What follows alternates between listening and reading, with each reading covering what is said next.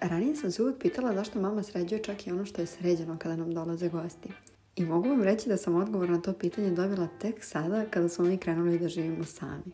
Iako znam da niko neće gledati da li ima prašine na mojim policama ili ispod kreveta, jednostavno je bolje osjećaj kada znam da je sređeno. Krenuli su da nam dolaze prvi gosti na useljenje i jako sam srećna zbog toga. Često sam kao mala samo željela da pobegnem u svoju sobu kada neko dođe, a sad bih voljela da je kuća uvijek puna. Prvo sam završila neke sitnice koje su ostale oko dekorisanja i čišćenja, a onda sam prešla na hranu.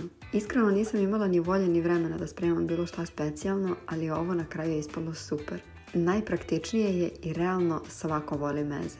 Ako znate gdje mogu da nađem ideje za dekorisanje ovog platoa, pišite mi, a ja sam vam na Instagram stavljala sve detalje gdje sam šta kupila i tako ću i nastaviti zato što mi je tamo nekako lakše.